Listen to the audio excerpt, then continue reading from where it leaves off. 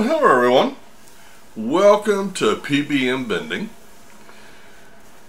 So today I want to take a, a different approach and look at the Vendstar 3000 machines. My opinion of them has not changed at all. But their functionality I do want to take a look at. As many of you know, my my uh, training in school was business. I have a business degree. One of the things that I learned, I don't know if I was taught this or I just learned this, was to constantly reevaluate your position uh, to maximize your profits. Which means don't get into a rut and stay in the rut because times change, people change, wants and needs change. If you can stay on top of that, you will do fine. If you get stuck in a rut, chances are somebody else is going to pass you by because they're open to change. Now, when we when I first got into the business a little over a year ago, I did a lot of research on machines. And what I came away learning was the Vendstar 3000s were cheap pieces of garbage. But people that were new in the business would use them and uh, for several reasons. Number one, you would get three different types of candy. You could pick up one of these machines used for the price of a sing new single head machine. Um, that was the advantages. Okay, it was a it, they were cheap and you could get in uh, a lot cheaper. The problem with them is because they're all plastic, and I mean all plastic. They they break constantly, so you have to have the time to replace doors, to tear them apart, to work on them, to have inventory, blah blah blah. So I made a decision in the very beginning we were going to have nothing to do with that because what I wanted to do was I wanted to go full bore as quickly as possible and so we were going to use new machines and we did. And it worked very well. Um,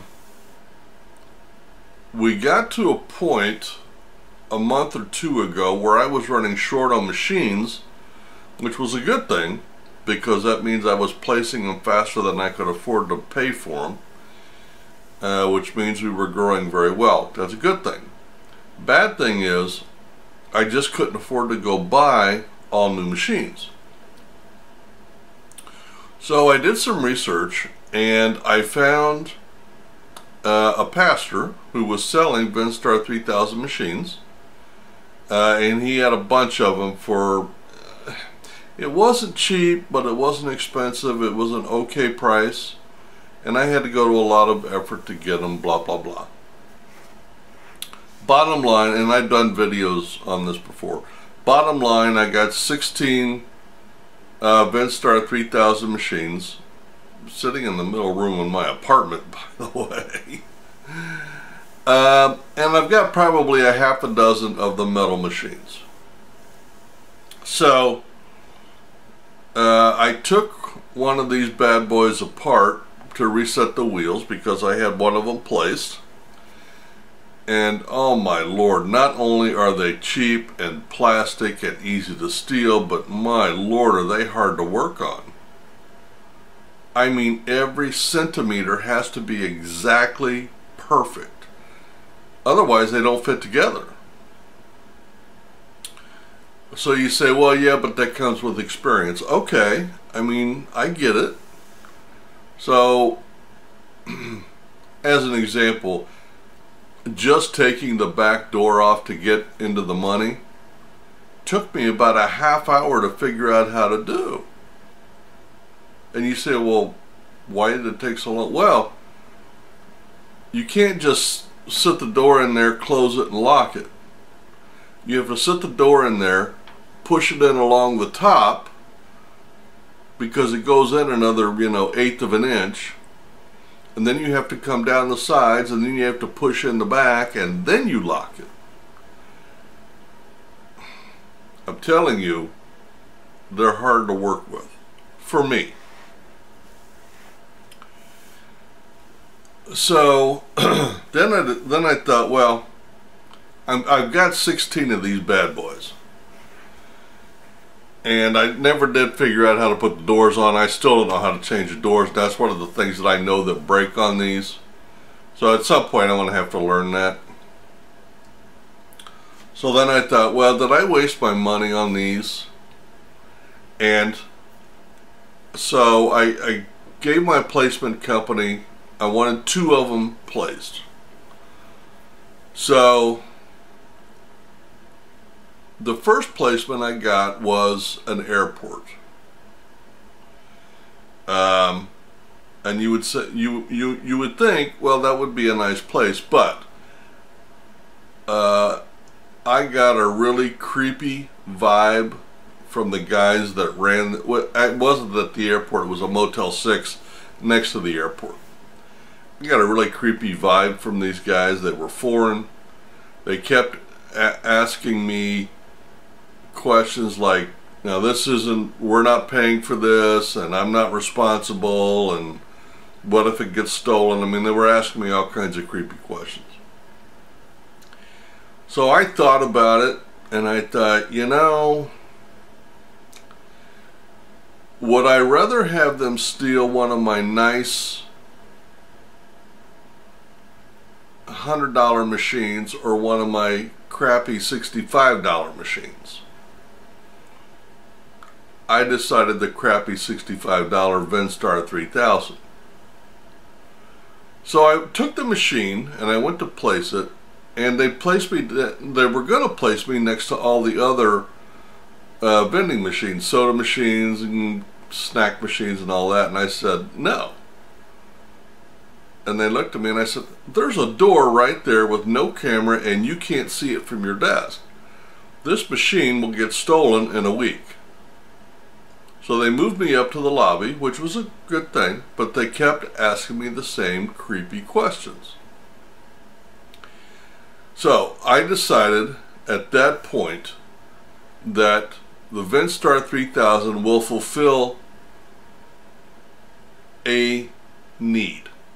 And if you've ever placed machines, you know what I'm talking about. You just get a feel when you walk into a place and you're like, yeah, you know, like if you're in the bad part of town, uh, these Vendstars are so light. I mean, a guy can walk in, lift it up, put it under his arm, and he's gone in 30 seconds and nobody would know the difference okay? Now the metal ones aren't much different but they are a little different okay? And not quite so easy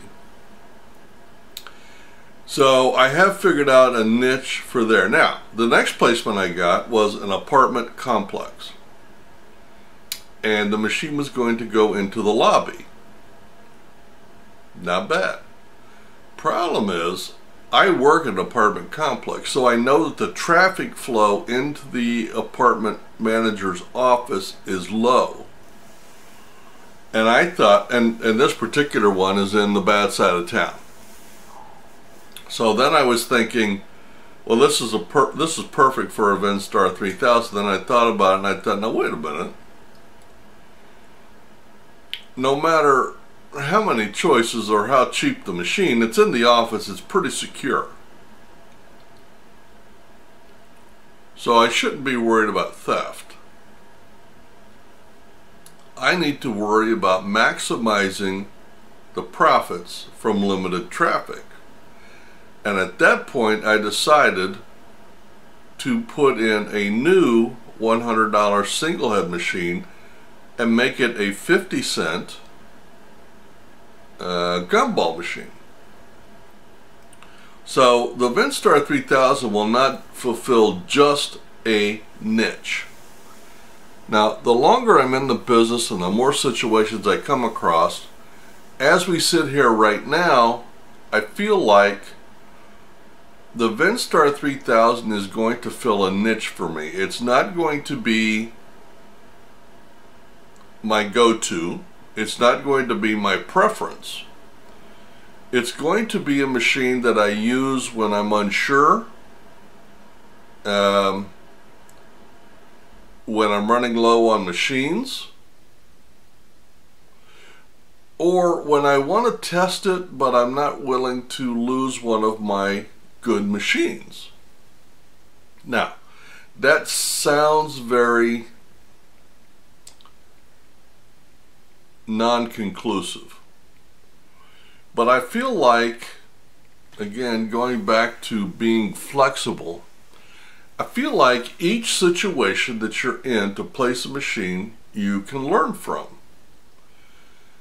When I went into the Motel 6 by the airport, and, and here's, here's a good example. That one was out by the airport, Motel 6, theoretically a good place, but that I know that hotel.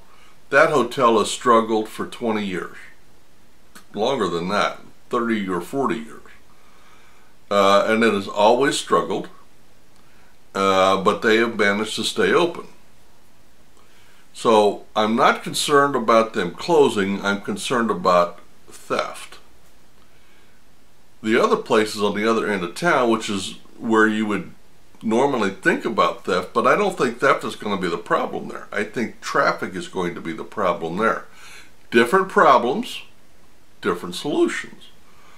Not one fits all. Our original game plan was I was going to do everything in single head machines and then the ones that produce well replace them with triple heads. And I have done that and that works beautifully. The problem is every business and situation is different. The Motel 6 at the airport, I started out with a uh, triple head simply because I feel like the potential could be there. If we get past the theft, the potential for the traffic coming through there could be very good for business. Therefore, we need to have a machine that's got three choices.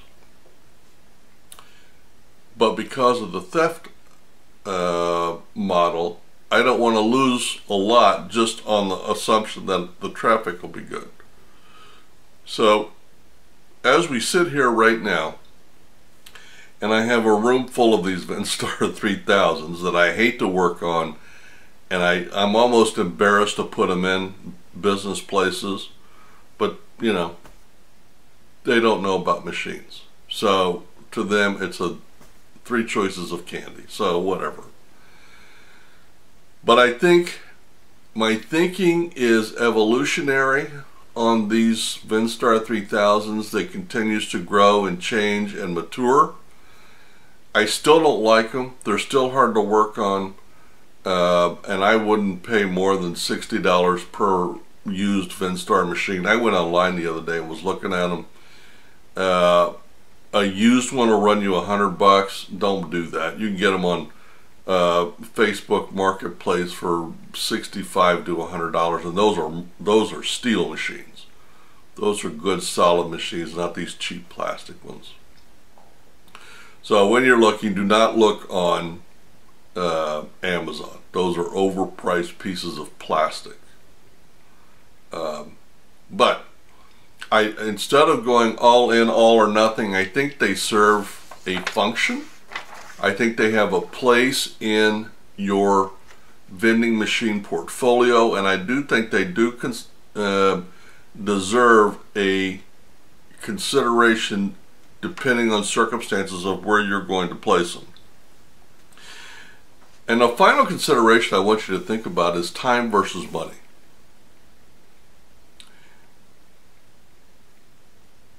is what is your time worth? My time is very, very valuable to me because I don't have a lot of it. As long as I've got a couple of steel machines in reserve, I am not, the first time one of these Vendstar 3000s break down, I'll just pull the dang thing out, throw it in the garbage and put it in a steel machine. I, I mean, unless it's something easy peasy that I can deal with. I am not going to spend hours figuring out how to fix a $60 piece of plastic. That's just not going to happen. But they serve a purpose. They get me in the door, they generate some income for X amount of time, and then it's done. So that's that's my new thinking on the Vendstar 3000. Uh, right below what you think, if you agree or disagree, let me know. I'd be interested in hearing what you have to say. Well, that's about all I wanted to talk about. Uh, you guys have a great week vending and happy vending.